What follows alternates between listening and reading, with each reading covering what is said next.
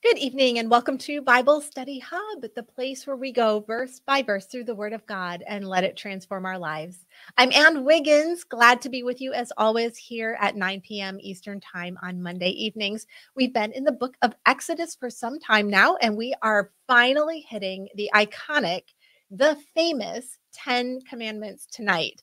So, what I want to do as means of introduction for this study tonight is to just remind us that God way back in Genesis chapter 15 and 17, told Abraham that he would be the father of many nations and that he would develop from Abraham's own body, his own offspring, a, a, people for himself, the Jewish nation, the Jewish people, as it turns out. And so we've been trekking along. We did the book of Genesis, we've been in the book of Exodus, and the children of Israel, who are now multitudinous enough to be considered a nation, are about to embark on a form of government to almost like cinch this whole idea that they are an actual nation. Up until this point, they've been a people group. They've been a family, then they became a people group. Now they've been a traveling people group. And now tonight, we will finally start to see God develop the structure to make them an actual nation, which they are to this day, even though for uh, over a thousand years in between, they were not. They were scattered all over the world. God brought them back together as a nation again. Only thing uh, that's ever happened for the world is, is Israel doing this. No other nation, is what I'm trying to say, has ever been a nation, not been a nation for decades and decades and decades, and then come back and been a nation. Only Israel has ever done that, which is just testimony to the veracity of scripture and the power of God. So, what we're going to see tonight is that God is going to introduce some laws, we call them the 10 commandment, to help govern this nation that is being developed under his care. This is a theocracy. Theocracy means governed by God. He will be their king, he will be their Supreme Court and judge. He's like the top of the top in every possible way, the supreme ruler. So he'll start off by kind of introducing himself in writing. And then we're going to go ahead and go through these 10 commandments. There's going to be some painful moments tonight, probably. I tell you that ahead of time so that you can buckle your seatbelt. If you feel convicted at any point during this study, let's just remember that the conviction of the Holy Spirit is a gift to lean into and allow to work in our lives, not something to run away from or harden our heart against. So if you feel that little prick, please don't leave. Please lean into it and let the Holy Spirit do the work in your heart and life that he wants to do. In the end, oh my goodness, it's it's the biggest blessing. What a gift that we have in that, right? So we're all going to feel convicted tonight, I'm pretty sure. Let's get started now in chapter 20 of Exodus. I'm reading from the Legacy Standard Bible if you're interested, which is similar to the English Standard Version. Uh, very similar, but if you want to look it up on BibleGateway.com, you'll just click on the Legacy Standard Bible and you'll get the exact version that I'm using. So here we go. Exodus, um, yeah, I say, yeah, I have Exodus 1. It, it's it's actually Exodus 20. I'm so sorry, got that wrong. Exodus 20, 1 to 2. And it says this Then God spoke all these words, saying, I am Yahweh, your God, who brought you out of the land of Egypt, out of the house of slavery. So he kind of sits down who he is and what he did to say to his people, I am worthy of being your supreme ruler. So that's all that that just moving on from there. That's just a little intro. I, I did how often did I do this? I can't believe I didn't catch this. I've been through my notes so many times. I still have Exodus 1. No idea. Please disregard that. It's Exodus 20, verse 3. I hope I didn't do that the whole way through. I might have. It's so humbling. All right. I'm totally humbled. Exodus 20, verse 3 says this First commandment You shall have no other gods before me. So let me run over here because I'm going to, for your sake, we're going to just kind of list these out as we go. So, commandment number one, written on a tablet of stone, in the hearing of all the people. They're all listening to God do this. No other gods before me.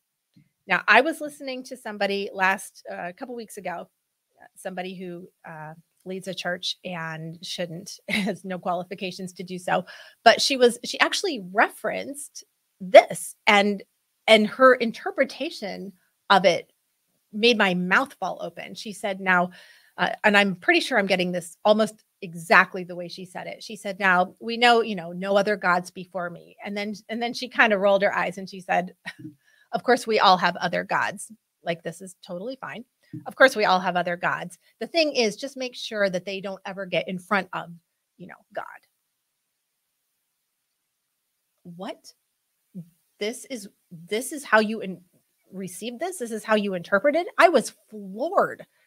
I, I said to my husband, who is a pastor, if you don't know him, later on that day, I said, "You're not going to believe this," and I told him what she had said, thinking he would be equally as aghast, and and he was. But he said, he said that's not uncommon to to receive it that way. And I said, "What? No other God?" He said, "Yeah, because they take it like before like a preposition like in order of like, you know, you you put the garlic in the pan before the zucchini. You know, that's that's kind of like in time and space. So I just want to make sure that nobody is receiving it that way because that is not what it means. If the king of England called you in to his presence and they said the king has called you to come before him you wouldn't take that to mean you're going to be in front of him. You would take that to mean you're going to be in his presence, right? Before the king. Very common. That's what this means. So, what God is saying here is not there's an order of gods and I just want to be the first one in line. No, he is the only God. Don't bring any other gods into his presence. There should be no other gods ever, ever in your presence or in his. He is the only God, one God He's it. That's it. So that's what that means. That's what that means. Let's go on. Commandment two. Oh, good. I got the reference right. Exodus 20, 4 to 6. It says this You shall not make for yourself an idol or any likeness of what is in heaven above, or on the earth beneath, or in the water under the earth. So he really is very specific. Nothing, nothing. You shall not worship them or serve them, for I, Yahweh your God, am a jealous God, visiting the iniquity of the fathers on the children, on the third and fourth generation of those who hate me, but showing loving kindness to thousands, to those who love me and keep my commandments. All right, so heading over to our little list here. Commandment number two. Whoops. So, first is no other gods before me. And then, almost as an extension of this, is no graven images. Now, if you're thinking to yourself, okay, well, that's pretty easy because I don't think anybody really does that anymore. I mean, I don't know of anybody who has a bunch of idols set up in their house. Actually, we do still have quite a bit of that going on.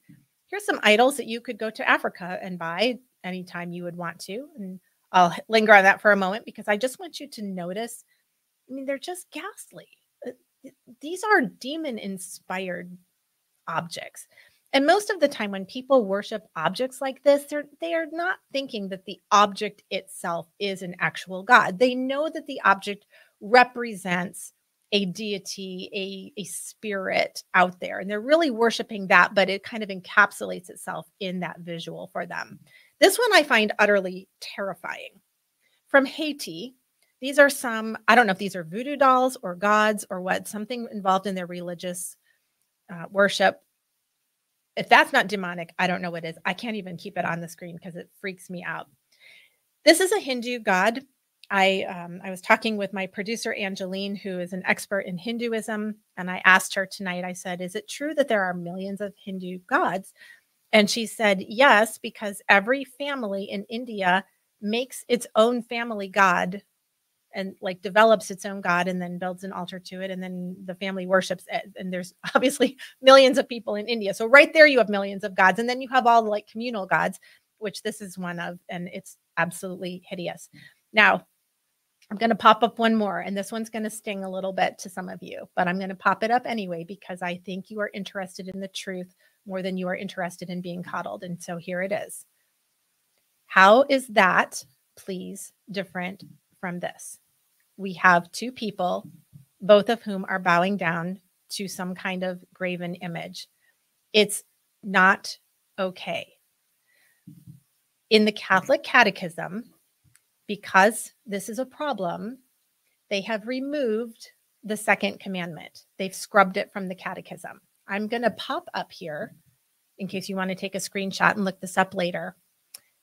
From their own website at catholic.com, you can read about how and why they think this is fine. And it basically boils down to well, it's tradition that this is how we do it. What they do is they take the second commandment out and then they divide the very last com- commandment, which is not to covet, into two sections to make it 10 commandments. So nobody really notices that they knocked one of them out. If you are counting on an entity that would take pieces of the Bible out because it doesn't work with what they want to do, if you're trusting them to tell you how to get to heaven, I think that's a bad idea. I'm just going to say that out loud. You want to trust a source for your eternity that doesn't lie to you. And that only source is the Bible itself. So go to the Bible for your truth. Don't go to an entity, especially one that will do things like take pieces of the Bible out. And a lot of religions will do that. I mean, they almost have to, right? Because they bump up against the word of God and and it's a problem for them. So I had to say that. If you um if you look at Revelation chapter 22, you'll notice that John falls down before an angel to worship him. John, the apostle John, and the angel says, "Get up. Don't do that. Worship God and him only. Don't worship me. We are to never worship anything except for the one true God. Now, we're going to move on from this, but before we do, if you if you're like, okay, got it, good to know, thank you. But I'm really concerned about that statement about God visiting the iniquities of the fathers on to the third and fourth generation of children. And maybe you're saying to yourself, oh my goodness, does that mean that if I mess up, like my grandchildren and great grandchildren would have to maybe pay for my sins, or maybe I'm paying for the sins of my great grandparents. Is that how that works? That's not what this verse is saying at all. You don't have to pay for the sins that somebody else committed. You pay for your own, right? Well, you're responsible. We'll put it that way. You're we'll get to this later, but you're responsible for your own sins. You're not responsible. That's a better way to put it for the sins of other people. What this is saying is basically the New Testament principle of sowing and reaping. So in other words, remember, this is this is like a legal document that God is developing here that will help govern his people. So what he's saying is listen, if you as parents bring false gods into your home, you bring in other religions and you worship these demon gods, your children will necessarily be affected by that.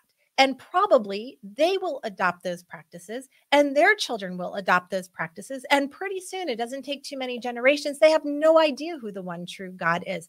And because of that, I will have to judge your nation because it will be so prolific throughout the nation. And that could be two, three, four generations down the line.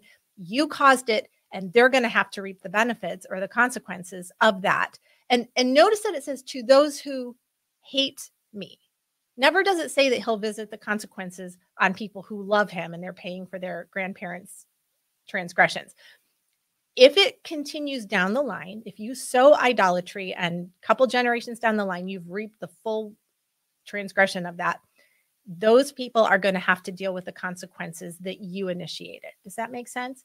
And then in verse 6 too, you know, conversely, it says for those who who love him he shows his his loving kindness right so it works both directions it's why we are so concerned for our next generation always that, that you raise your children that you pour into your grandchildren's lives with the truth of the word of god and that they would come to know jesus as their lord and savior from the youngest age possible so that they can continue that legacy for generations that go on and on all righty Verse 3. Here we go. Commandment 3, verse 7. Here we go. Says this You shall not take the name of Yahweh, your God, in vain, for Yahweh will not leave un- him unpunished who takes his name in hmm. vain. So we are up to commandment 3, and here it is. So no other gods before me, no graven images, and don't take the name of God in vain. it was a couple of years ago. I was reading something, and honestly, I don't even remember what it was, but there was a quote that really jumped out to me. The the author of this article was was actually quoting somebody who was born and raised in the Midwest, which I was. A number of you live in the Midwest.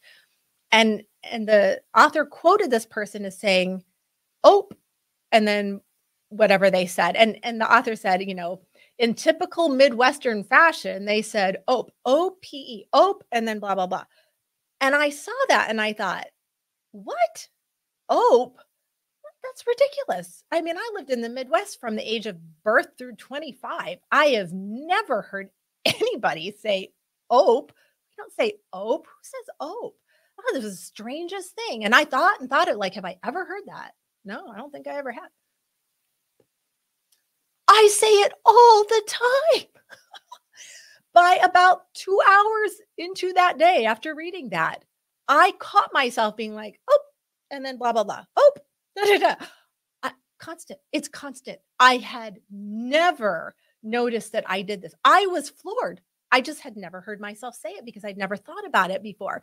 And I remember it was that night or maybe the next day, I said to my children, I said, listen, have you ever noticed that I say ope? And they're like, yeah. I said, wait, you really? You've noticed that? They go, mom, you say it all the time. I said, oh my goodness. I didn't know. I said, do you say it? And they're like, no, we were born and raised in Arizona. Nobody says it out there, just you. But they said most Midwesterners will say, will say it. I had no idea. I say it all the time. And it still cracks me up every time it pops out of my mouth or in my brain. Oh, oh, there it is. There. I just said it again. How many of you Midwesterners do that? Here's the reason I bring up that story. Until somebody pointed it out, I didn't hear myself doing it. I had no idea I had ever said it before. I hear Christians, those who claim the name of Christ, all the time taking God's name in vain. OMG. Oh my God. I hear it all the time. Oh, I, I, expect to hear it from people who have nothing to do with Christ or who hate God. It's not okay, but I expect it. It always floors me when I hear my brothers and sisters in Christ throw around the name of God or Jesus like a piece of trash. And my thought is, it's probably somewhat like hope. My guess is that half of them don't even know that they're doing it. They they don't even hear themselves. It's so much a part of their culture, so much a part of what they hear all the time from other family members, friends, coworkers, neighbors, whatever, that it just flies out of their mouth and they're not aware of it. So can I just say this to you? Not in a judgmental way, but just in a I think we can do way way better here because this is blasphemy and it's really serious would you start listening to yourself and will you make sure that you don't do that?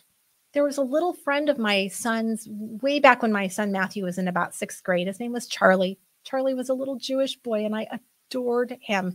He was typical sixth grade boy.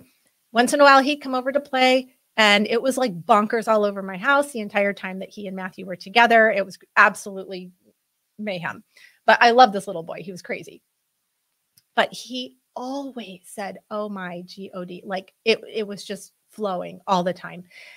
And finally one day I thought, "You know what? He's in my house and and I don't want him to feel judged. I don't want him to feel like I'm mad at him, but I don't want that in my home. I I love God. I, I honor him and I want his name to be lifted up in my house, not thrown around like garbage or like some four letter word. And so I just pulled him aside and I said, Hey, Charlie, you know, I, I love you. I said, You're saying something that's really hurting my heart. And I said, When you say, Oh my God, I said, it's, It sounds to me like you're taking the name of my God that I love and just using it like a piece of trash. And it really hurts me every time you do it. And I have expected him to be bonkers and bounce all over the place. Ah! Like, you know, I've never seen a child get so serious in my life. His face completely changed and he looked at me and he said, I don't think God is a piece of trash either. And I said, okay, then you then you know what to do. And he said, yeah. And he never did it again in my presence. So I think let's be careful on this one. This one is a it's a we we can think it's not a big deal. And actually it's a really, really big deal. Next, commandment number four. Remember the Sabbath day to keep it holy. Six days you shall labor and do all your work, but the seventh day is the Sabbath of Yahweh to your God. In it you shall not do any work, you or your son or your daughter or your male or your female slave or your cattle or your sojourner who is with you in your gates. In other words, you can't just put it on somebody else and say, oh, I didn't do it. I made them do it. You can't make anybody do it. For in six days Yahweh made the heavens and the earth and the sea and all that is in them. And he rested on the seventh day. Therefore, Yahweh blessed the Sabbath day and made it holy. So here we go. We're up to commandment number four. And there it is to keep the Sabbath. Now, there's always this, this thought of, as Christians, are we responsible for keeping the Sabbath? Are we required to do it? And there are Christians, uh, really, really good, strong Bible believing, even teachers who are kind of on both sides of this. Some of them say, no, we're not bound by that anymore. It's the only commandment in the New Testament of the 10 that is not reiterated, which is kind of an interesting point. And then others say, no, it's a, um, it's in the moral code. The moral code doesn't change. You need to do it. So here's kind of where I fall on it. I look at how Jesus kept the Sabbath, and he didn't keep the rules that the religious leaders had imposed on the people that made the day like the most hellish day of the week for them, the where they couldn't do anything. If he needed to eat, they got food. If he wanted to heal somebody, he healed somebody. So he did work, if you want to call it that, on the Sabbath, but just you know, to to bless people and to take care of himself. But he also took a day to rest and commune with God. And I think that's the spirit of what we're supposed to do.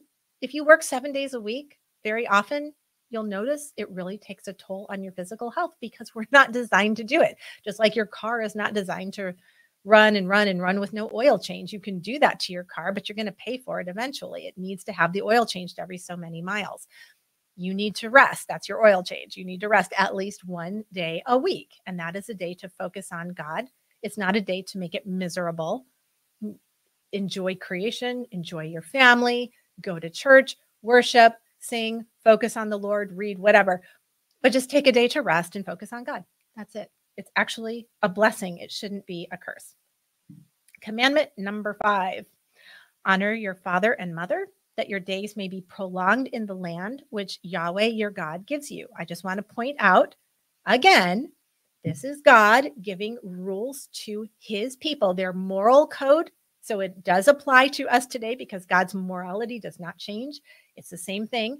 But you can see here what he's saying is honor your father and mother that you can stay in the promised land. In other words, if you don't honor your father and mother, eventually I'm going to pull you out of the promised land. Now, in the New Testament, this is reiterated, but it's kind of um, worked into the church by saying that your days will be long, you know. So, not necessarily the promised land, but that your life will be longer and more fulfilled in those types of things. So, the principle here is it kind of goes back to what we were talking about a minute ago. You want to pour into your children and expect from them the obedience that God wants them to give you. And by the way, honor your father and mother implies that the father and mother are being honorable, that they're doing things that can be honored, that they're not mistreating the children and acting hypocritically and those types of things. So the family structure has been instituted by God to procreate and to protect women and children primarily. And so you can see that protection there and how that works. Let's go to the next one. Commandment number six. We're over halfway done now.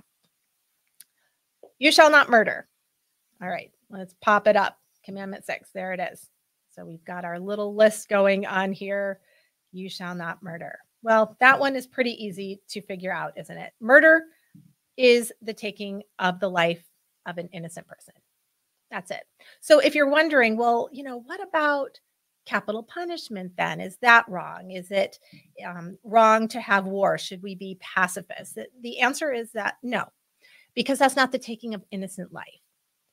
Capital punishment was instituted by God in the Old Testament. It is carried through in Romans chapter 13 in the New Testament that government exists to protect people. And there are times when crimes are so heinous that justice involves taking a life for a life. That's biblical. So it doesn't entail that. War is knowingly going into battle, knowing that this might result in your death. So it's different than just the ambush and the taking of an innocent life. But from from oh sorry, I I forgot to take this thing down. So I'm talking to like nobody. There you go. Um so what what I want to say about that is from conception to natural death, life is protected by God and that nobody has the right to take innocent life. The only caveats would be capital punishment and war situations. Other than that, no murder. Commandment number seven you shall not commit adultery. All right. Let me pop up our thing and I'll try to remember to take it down this time. There it is. All right, good. We can all see it and it's down. All right. So the adultery thing is specifically involving somebody who is married going outside of mm-hmm. the marriage and having sexual relations with somebody outside. We know from other places, many other places in scripture, that is not the only sexual sin that you can be single and have sex before marriage, and that is also a sin.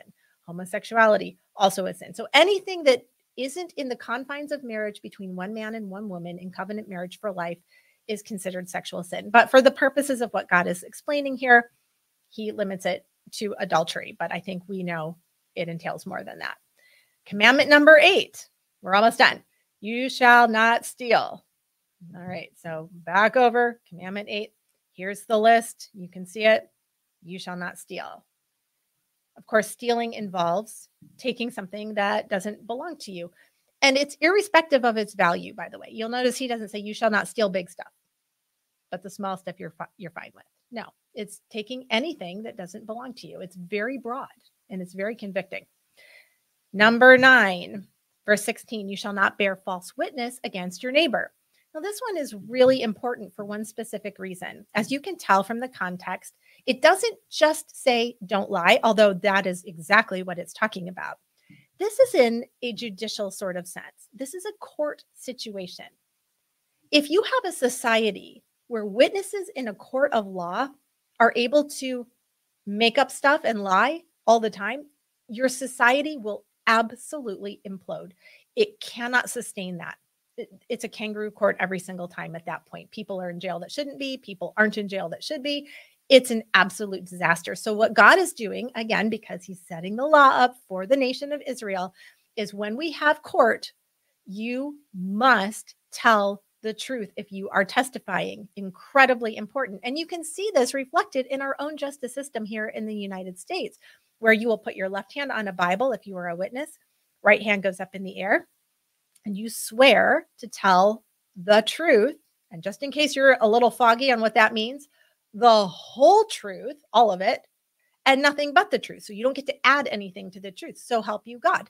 And and we swear on the Bible. And if you perjure yourself, meaning that you knowingly lie in court, you're supposed to go to jail for that the fines can be extremely high for that type of thing and again it's because it's so incredibly serious so it's it's kind of relegated to this but it extends to of course telling the truth at all times last one you've hung with me you've done great and here we go last one verse 17 you shall not covet your neighbor's house you shall not covet your neighbor's wife or his male slave or his female slave or his ox or his donkey or anything that belongs to your neighbor.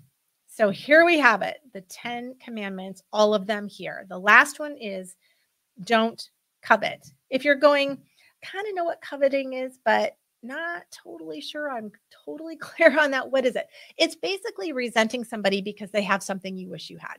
That's my own definition. I think it's a pretty good one.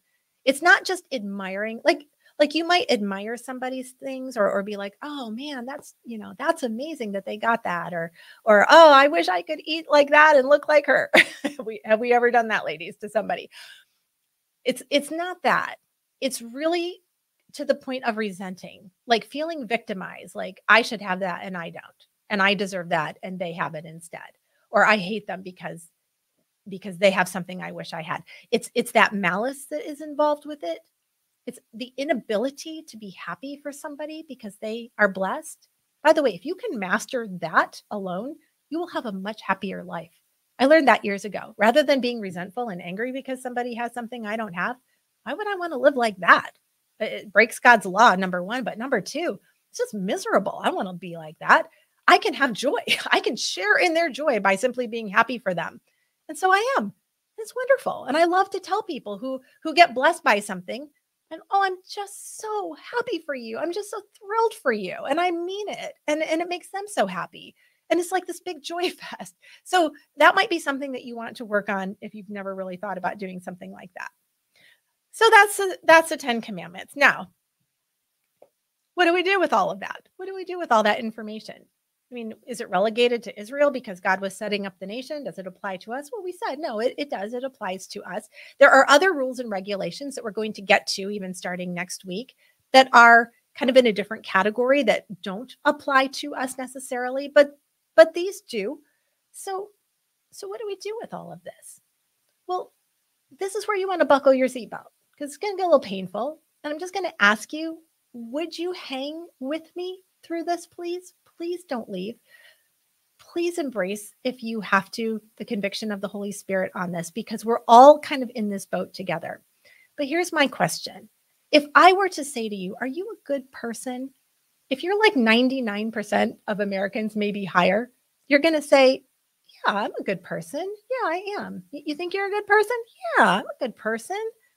Yeah, okay. Well, let's let's see if you're a good person or not. Let's take a little self stock, shall we? let's see how many commandments maybe we've broken. So we're going to go through these really quick. And if you could, you can take a pencil and just make a little tally mark if you want to. You can keep track on your fingers. See how many of these you're responsible for breaking. And, and we'll see how your life lines up with my life. All right, here we go. Uh, here's the first one. Have you ever, in your entire life, put something in the place of God? ever? Put something in front of him, sports, hobbies, free time, something else, wasting time. if you have, hate to tell you this, but you get a tally mark for that. Um, I forgot to bring mine, but I got a tally mark because I, I've done that and I'm not proud of it. But yeah, I've totally done that. Okay. Second one Have you ever prayed to anything besides God Himself? A statue, a saint? Have you ever gone to a psychic reader? Have you ever had your palm read, tarot cards to tell your future? Are you trusting crystals? All of that would entail this whole graven image worshiping something other than God thing. And it might surprise you to know that I now have two tally marks, and I'm suspicious that you might too. And if you're wondering, really, Anne? You're not even Catholic. You what did you do? Would you like to know? I'll tell you. And don't poo poo this because it's serious. I don't know how old I was, but I'm guessing I was maybe six or seven. And there was a picture of Jesus hanging on the wall. And I was all by myself. It wasn't at my home, it was somewhere else. And I got on my knees and I prayed to the picture. And you might be saying, oh, brother, you were only six or seven. I mean, cut yourself some slack. I knew it was wrong. I knew it was wrong because the Holy Spirit was already at work in my little young heart. And I didn't pray for very long. I mean, I was only like six or seven. I don't even know what I said, but I prayed to this picture and I got up off of my knees and I immediately was filled with conviction. Even at that young age, like that was not okay. That was not right. Don't do that. And I remember in my tiny little child experience saying, God, I'm so sorry. That wasn't, that was not good. And I will never do that again. And I never did. But guess what? Uh, I broke. I broke that commandment. Even though I was little, I broke it and I'm responsible for it. So I got two tally marks on that. How are you doing? Next, have you ever taken God's name in vain? You think you have? You know, even if you've never said it, is it possible that you have lived your life in a way that would cause other people to dishonor God because they found you to be hypocritical or not a good witness? Because if I extend it to that, then I'm pretty much guilty of that one too. So now I've got three. How are you doing? Next. Okay. Ever dishonored your parents? Even when you were young? All right, we all got that one. Moving on. I'm not even going to talk about it because I know we're all guilty. Okay, have you ever murdered anybody? Now, I know there's a bunch of you going, oh, thank goodness. Finally, one I don't have to put the tally mark down on. Finally. Well, I don't mean to be the bearer of bad news, but let's turn to First John chapter 3 verse 15 because here's what the New Testament says. It says everyone who hates his brother is a murderer. And you know that no murderer has eternal life abiding in him. Do you realize what just happened there?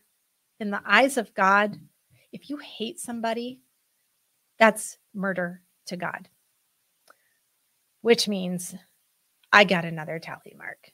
And I bet you did too, because I have truly hated people in my life. I'm not proud of it, but I have. And I still struggle sometimes. Maybe not even people I've ever met, but just people that drive me crazy.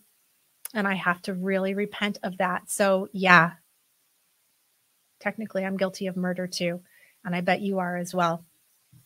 Oh, okay, next one. This is, I know, hang with me. Please don't leave. Have you ever committed adultery? Now, again, maybe like murder, you're going, okay, finally one I don't have to put the tally mark down on. Well, again, not to burst the bubble, but Jesus says in Matthew 5 27 to 28, you have heard that it was said, You shall not commit adultery. Obviously, he's referring back to this exact commandment. Jesus says, Yes, but I'm going to expand this.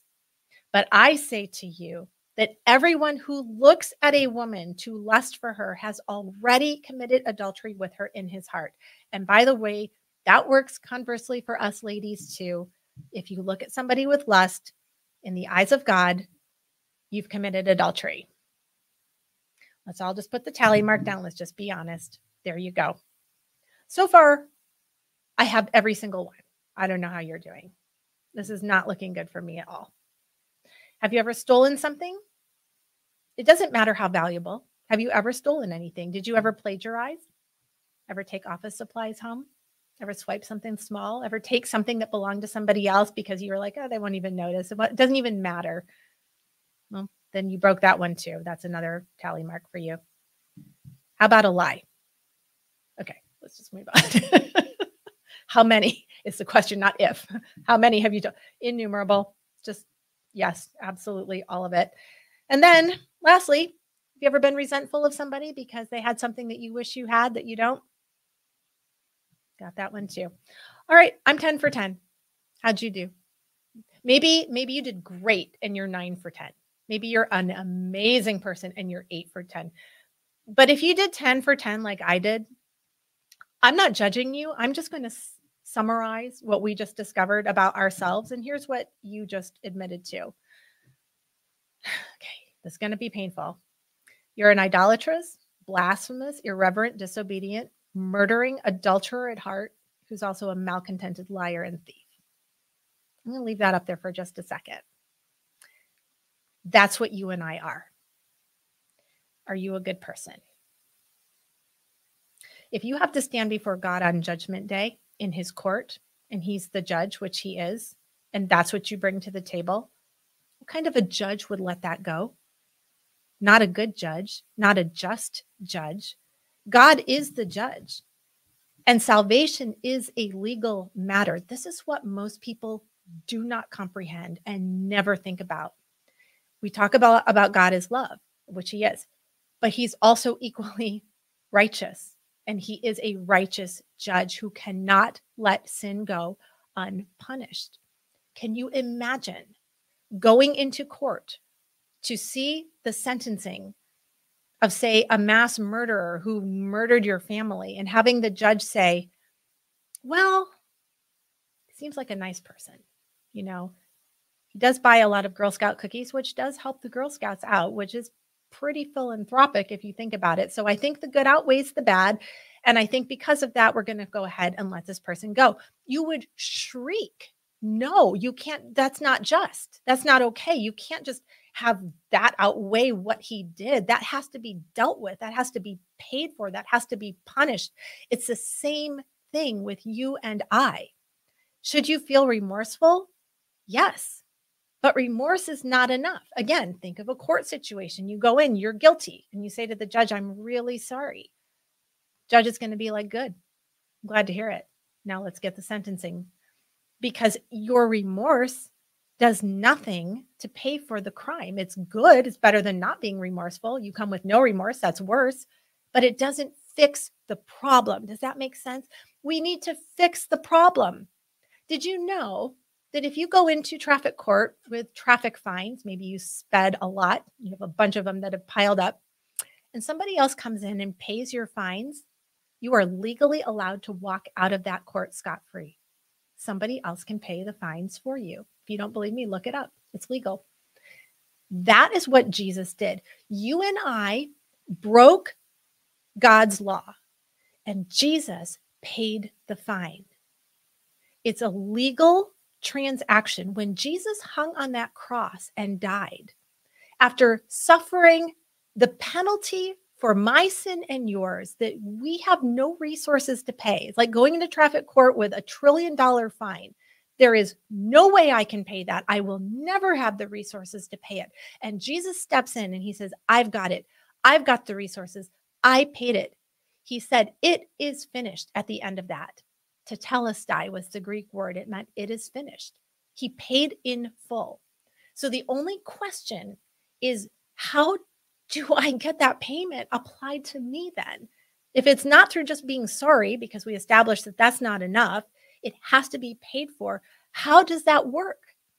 Well, First John 1 9 says, if we confess our sins, he is faithful and listen to this, just to forgive us our sins. Do you hear the word just? It's a legal transaction, friends. He is faithful and just to forgive us our sins and to cleanse us from all unrighteousness. Our only hope when we are as guilty as we are, and by the way, we went through 10 commandments, and I think most of us, if we're being honest, we're guilty of either nine or 10 of all of those. It would be bad enough if it was just 10. But take that 10 and multiply it times, I don't know, how many lies have you told? How many lies have I told? How many times have I sinned against God? It's astronomical. I can't I can't even imagine the number. It might be too big to even count. That's my debt. I get that forgiven by coming before the judge and throwing myself on his mercy. By believing that he did make the payment for my sins. And yes, by confessing it and the remorse and the sorrow that I have that I put him on that cross, that it was my sin that he actively suffered and paid for. And I cry out to him, Jesus, would you apply that to me? Jesus, would you save me? I can't do it. I know I can't do it. I have no resources to do it. I don't bring you my good works. My good works have nothing to do with this. It's not even good to you. It's all bad, all of it. You come empty handed. You come just crushed by your sin and say, Be merciful to me, a sinner. And he promises that when that is your heart, when you come before him and you ask for that, you ask for that covering, his righteousness to cover your sin, so that God will no longer see you as a sinner, but he sees you through the righteousness of Jesus Christ as holy and right with him, that you are completely forgiven. I don't like to pray prayers anymore with you because I feel like it's more real if you do it on your own. I want to give you the information and then ask you to really consider number one, have you done that? Number two, do you believe that? And number three, are you willing to take some time and get really raw and honest before God? If you've never done that before, and come before Him and say, I need your mercy. There is something incredibly humbling about coming so empty handed and so destitute. But let me just say this too. There is something so freeing about admitting it and and stopping the charade of i'm good i'm a good person when we know deep deep down we know we're not. There's something really freeing about saying you're right god. Your assessment of me is correct. I am i'm destitute. Uh, i've got nothing here. And then crying out to him for mercy to save you. And then the product of that just flows out of you, just a desire to serve him and love him and worship him and be available to do anything he asks you to do. That it's not that you're those good works save you. Those good works flow out of just sheer gratitude for what he's done. So, my hope and my prayer is that if you're listening to this right now, I don't think it's by accident, especially if you've never done that before. Would you think about this, please? Would you really seriously think about it? The Bible says in Romans 6 23 that the wages of sin is death, that our death is God's signal to us that He is really deadly serious about our sin, and we all have an appointment with death. But it goes on to say that the gift of God is eternal life through Jesus Christ our Lord. So if you've never done that, please, please highly consider doing it. That is the way to salvation. And that is the Ten Commandments.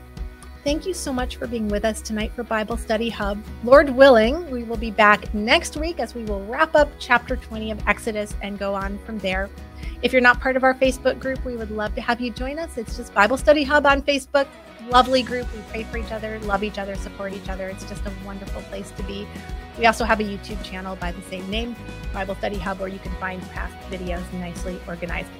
Have a wonderful week. I love you dearly. I pray for you, and I will see you again, Lord willing, next Monday night, 9 p.m. Eastern Time.